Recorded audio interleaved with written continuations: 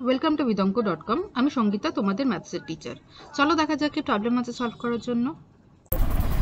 দুটি বৃত্তের একটি অপরটি কেন্দ্র ও বিন্দুগামী এবং বৃত্ত দুটি পরস্পরকে এ ও বি বিন্দুতে ছেদ করেছে।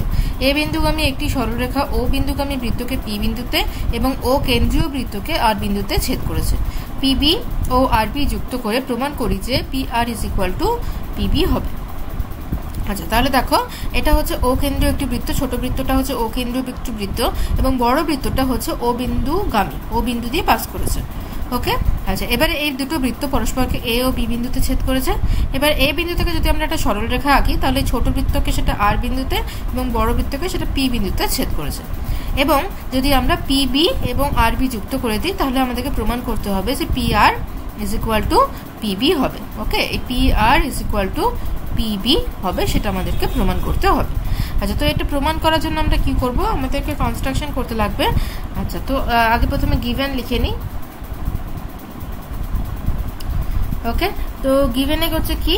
তো এখানে আমরা যেটা আছে সেটাই হচ্ছে গিভেন এখানে কোনো এক্সট্রা কিছু দেওয়া নেই। তো জাস্ট আমরা লিখি যে আর এ পি সরল রেখা বৃত্ত দুটিকে আর এবং পি বিন্দুতে ছেদ করেছে। ঠিক আছে? এর থেকে বেশি কিছু স্পেসিফিক করা নেই। আচ্ছা এবারে আমাদেরকে কি প্রমাণ করতে হবে? To proof that to proof that কি? P R is equal to PB হবে। আচ্ছা তার জন্য আমাদেরকে কনস্ট্রাকশন লাগবে। কি কনস্ট্রাকশন করব? না, আমরা এখানে এগুলো সব যুক্ত করব। আমরা আর ও যুক্ত করব। ওকে দেন ও বি যুক্ত করব।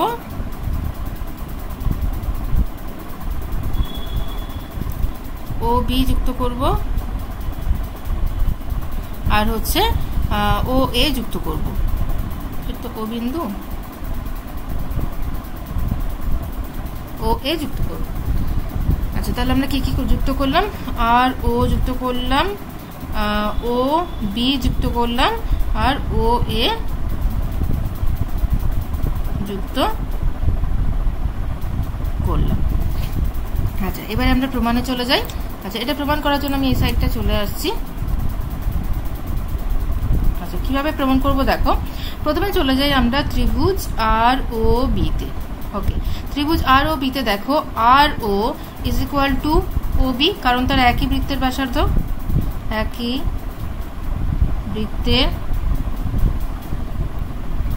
ব্যাসার্ধ। R O is equal to O B তার একই বৃত্তের ব্যাসার্ধ। তাহলে আমি এখানে অ্যাঙ্গেলগুলো একটু কালার দিয়ে ইন্ডিকেট করে দিই। তাহলে এখানে এই যে অ্যাঙ্গেলটা R O B is equal to angle O B R ঠিক আছে? তাহলে কি হচ্ছে? Angle O R B okay R O B না angle O R B angle O R B is equal to angle O B R এবং প্রত্যেকে আমরা সেগুলোকে এক্স ধরে নিই। ঠিক আছে? এক্স ধরি। তাতে করে আমাদের অঙ্কটা করতে পার, বুঝতে সুবিধা হবে। এটা এক্স ধরলাম, এটাও এক্স ধরলাম। আচ্ছা এবারে চলে যাই ত্রিভুজ এ ও আর এ। ঠিক আছে? ত্রিভুজ এ ও আর এ দেখো একই জিনিস। R O is equal to A O কারণ তার একই বৃত্তের ব্যাসার্ধ। তাহলে এখানে এই অ্যাঙ্গেলটা আর এই অ্যাঙ্গেলটা সমান হবে। ঠিক আছে? এই অ্যাঙ্গেলটা আর এই অ্যাঙ্গেলটা সমান হবে। তাহলে angle O R A is equal to angle O A R হবে। ঠিক আছে? এই দুটোকে আমরা ধরে নিই ওয়াই ওয়াই ধরে নিলাম। ঠিক আছে? এটা ওয়াই ধরে নিলাম আর এটা আমি ওয়াই ধরে নিলাম। আচ্ছা এবারে দেখো, এই যে এটা তো একটা বৃত্তস্থ চতুর্ভুজ। O A P B O A P B হচ্ছে একটা বৃত্তস্থ চতুর্ভুজ। ও এ পি বি একটি বৃত্তস্থ চতুর্ভুজ এবং বৃত্তস্থ চতুর্ভুজের আমরা কি জানি? যে বহিস্থ কোণ, বিপরীত অন্তস্থ কোণের সমান হয়।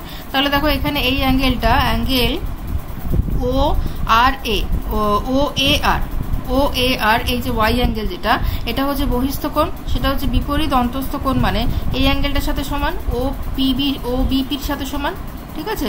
এই অ্যাঙ্গেলটার সাথে সমান, তাহলে এটাও হয়ে যাবে ওয়াই, রাইট?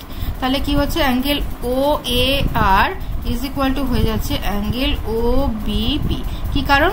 ও এ আর হচ্ছে বহিস্থকোণ বহিস্থকোণ আর এটা কি? না, বিপরীত।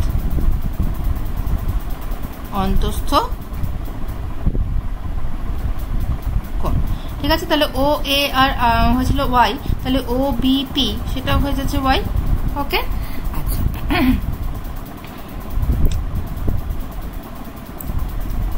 তাহলে দেখো, এইবারে, এই এবার বড় ত্রিভুজটা নিয়ে নিই বিপিআর ত্রিভুজে। ত্রিভুজ বিপিআর এবার এখানে চলে আসি। ত্রিভুজ বিপিআর এ বিপিআর তে দেখো তাহলে কি হচ্ছে?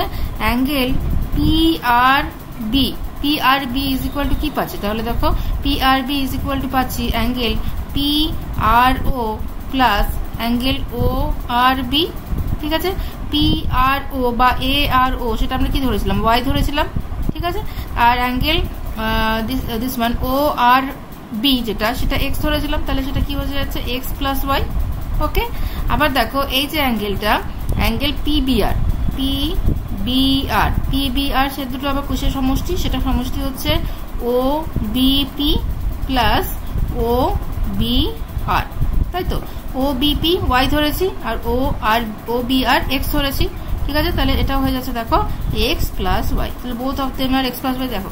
এটা এই জন্য আমি বললাম যে, যদি এক্স ওয়াই দিয়ে যদি লিখি, তাহলে কি হবে? প্রবলেমটা আমাদের অ্যাট এ ক্লাস দেখেই বুঝতে পারছে যে কি হবে, আমাদের কীভাবে সলভ করতে হবে, বা কীভাবে আমাদেরকে প্রুভ করতে হবে। তো এখানে ছবি দেখেই বোঝা যাচ্ছে যে হ্যাঁ যে এই দুটো অ্যাঙ্গেল সমান হয়ে যাচ্ছে। দুটোই X X plus Y X plus Y চলে আসছে।